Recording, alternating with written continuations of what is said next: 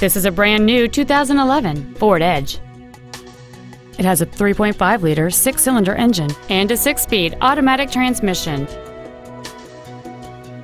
Its top features include cruise control, an auto-dimming rearview mirror, front and rear reading lights, a six-speaker audio system, leather and alloy steering wheel trim, four-wheel independent suspension, 18-inch wheels, a low tire pressure indicator, an external temperature gauge, and a rear spoiler.